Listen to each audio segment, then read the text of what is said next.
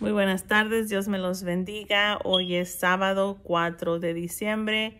Good afternoon, God bless you all. Today is Saturday, December 4th. And we're going to continue in the book of Luke today. Vamos a continuar en el libro de San Lucas en este día. El título de hoy es Regalos Maravillosos. Today's title is Wonderful Gifts. Amen. And we're going to be reading in the book of Luke, chapter 11, verse 13. Vamos a estar leyendo en el libro de San Lucas, capítulo 11, versículo 13. Amen. Let's see. Un momentito, just a moment here, because trying to leave another scripture that we're going to be using as well.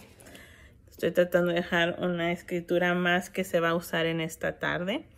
Y la palabra del Señor se lee en el nombre del Padre, del Hijo y del Espíritu Santo. Amén. Dice, pues si vosotros siendo malos sabéis dar buenas dádivas a vuestros hijos, cuánto más vuestro Padre Celestial dará el Espíritu Santo a los que se lo pidan. Gloria a Dios. The word of God is read in the name of the Father, the Son, and the Holy Spirit. Amen. It says, If you then, though you are evil, know how to give good gifts to your children, how much more will your Father in heaven give the Holy Spirit to those who ask him? Amen. Gloria a Dios. Amen. Praise the Lord.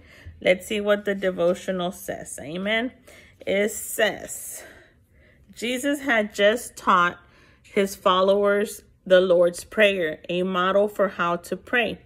Jesús acababa de enseñar a sus seguidores la oración del Padre Nuestro, un modelo en cómo debemos orar. Now he impresses upon them how very much God wishes to give them good gifts. Ahora él impresión, los impresiona en cuanto el Señor, eh, Dios desea darles buenos regalos. Voy a, a, repetir. Ahora Él impresiona a ellos en cuanto Dios quiere darles buenos regalos.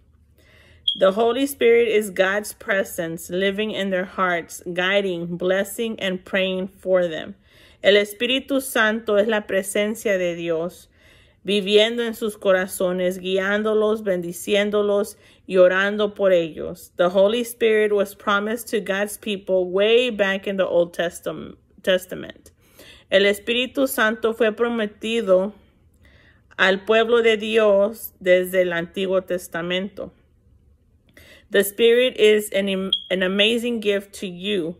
El Espíritu es un regalo increíble, asombroso para ti.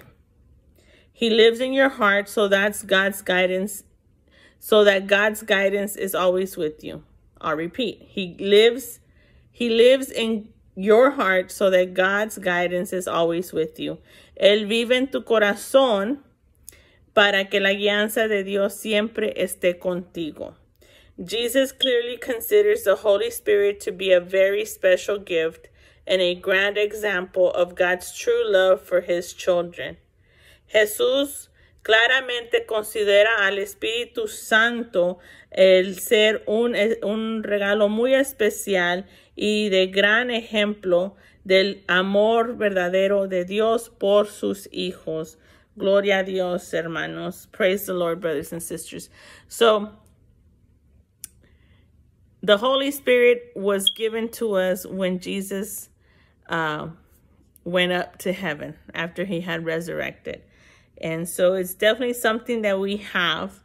Uh, many times people, we will consider the Holy Spirit as our conscious. Amen. Our conscious is our Holy Spirit. Um, it guides us. It it it it gives us a sensation whether something is good or bad.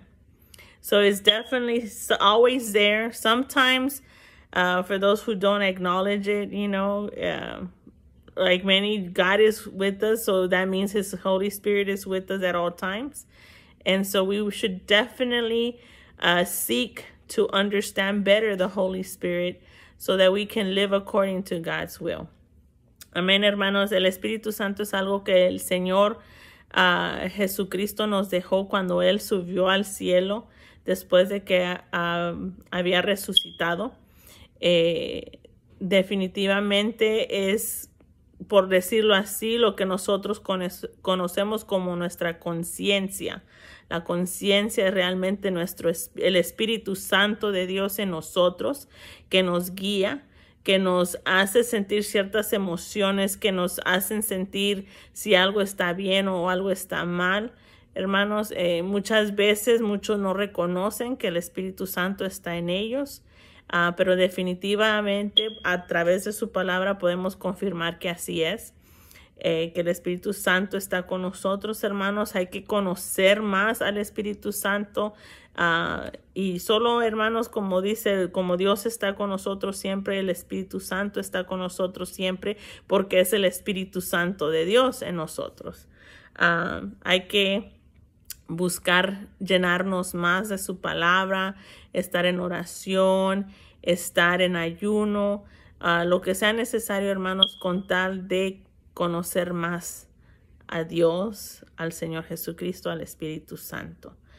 Definitely it's something that, you know, we have to want to know more about, you know, um, and we can only do that through reading the Word of God, prayer, and fasting. Amen. So it's definitely something that we need in order to get um, a better relationship with God, our Father, Jesus Christ, and the Holy Spirit.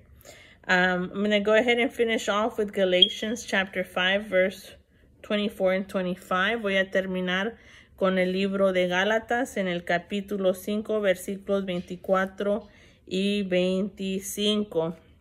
Y dice, pero los que son de Cristo han crucificado la carne con sus pasiones y deseos. Si vivimos por el Espíritu, andemos también por el Espíritu. And it says, Those who belong to Christ Jesus have crucified the flesh with its passions and desires. Since we live by the Spirit, let us keep in step with the Spirit. Amen, brothers and sisters. May you all have a blessed evening. I love you in Jesus' name. Amen. Que todos tengan una noche bendecida. Los amo en el amor de Cristo. Amén.